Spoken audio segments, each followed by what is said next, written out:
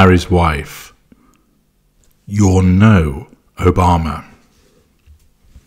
Harry's wife functions in a deluded world.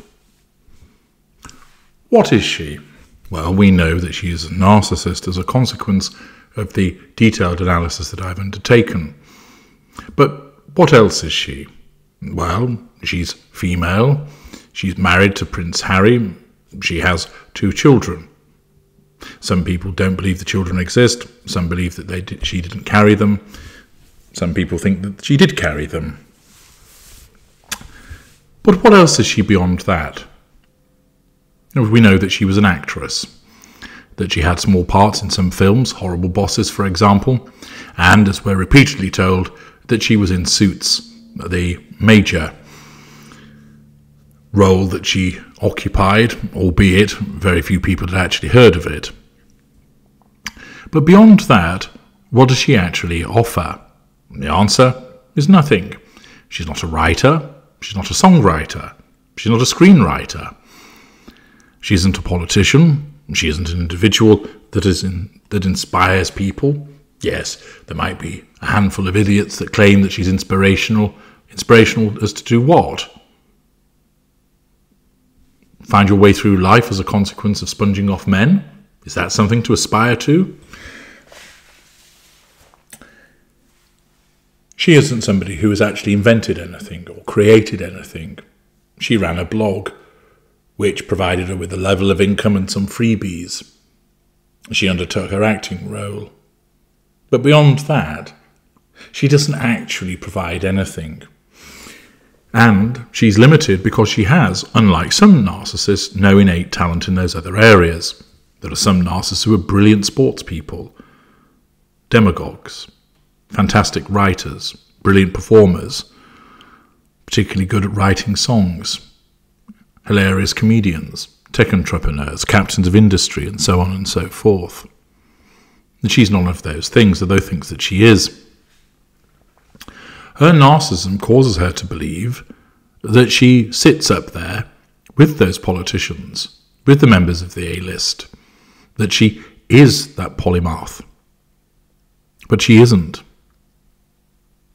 For instance, she believed that she belonged alongside Michelle Obama, and at an early juncture, basically was trying to recreate being her.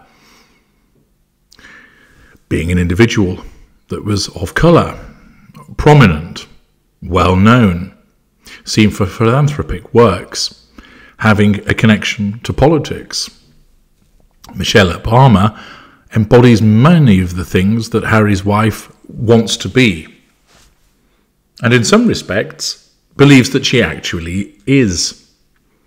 However, she receives repeated reminders that she is no Obama.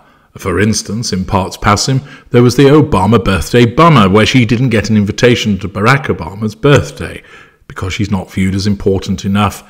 And indeed, the far more savvy Obamas will have recognized that it would be a problem having her attend as a consequence of her lack of discretion. Just recently, Michelle Obama undertook a book tour. This was in relation to her second book, Light We Carry Overcoming in Uncertain Times, which, of course, is a book which Harry's wife would have loved to have written, except she didn't. And she set off on a book tour which was at the back end of last year. However, what she's also done is create a podcast, the Light podcast, which is available on Audible. We all know, of course, that Harry's wife launched a podcast which was dull as ditchwater, beige as it comes, and roundly ridiculed because it was just used as a means of trying to settle scores for all of the perceived slights and insults that Harry's wife has experienced throughout her life. Michelle Obama has created a podcast which tells us in the blurb, upon the release of her second best selling book, The Light We Carry Overcoming in Uncertain Times, former First Lady Michelle Obama sets out on a very special, highly anticipated six city US book tour. Harry's wife would give her eye teeth to be a former First Lady. Not, of course, that that will ever, ever happen. Certainly not while married to old Ginger Bollocks. Furthermore, she would give her right arm to have been involved in a highly anticipated US book tour, taking in six cities. But even more so, the conversations that Mrs. Obama had were with Ellen DeGeneres, Tyler Perry, Conan O'Brien, Oprah Winfrey, Gayle King, with people such as David Letterman, Heather McGhee, Tracee Ellis Ross, and Michele Norris. All individuals that Harry's wife would love to have engaged with.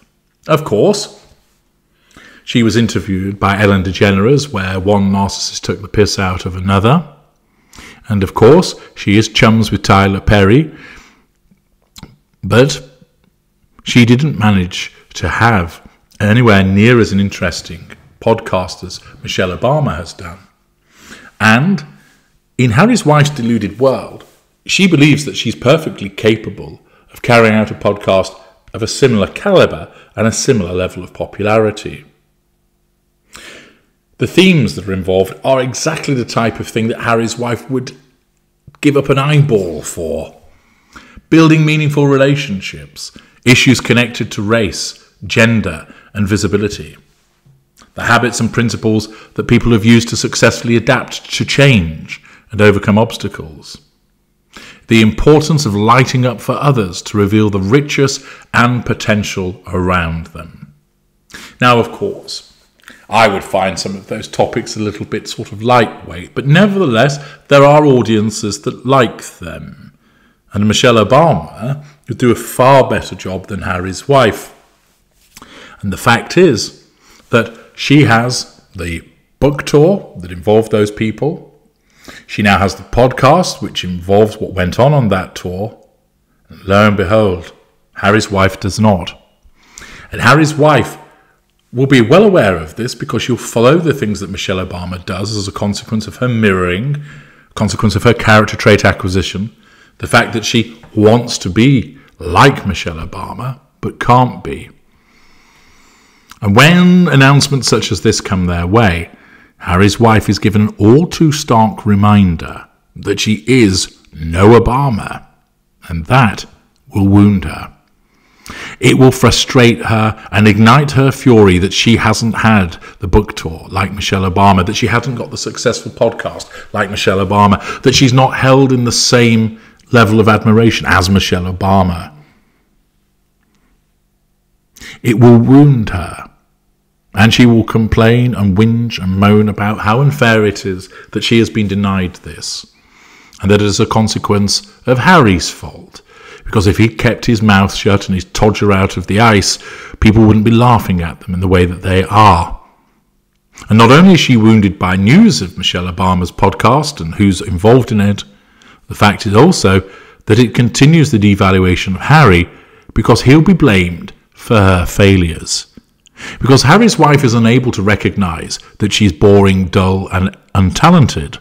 Instead, anything that goes wrong is always a failure of somebody else that they didn't support her, that they didn't write the correct thing, that they said the wrong thing.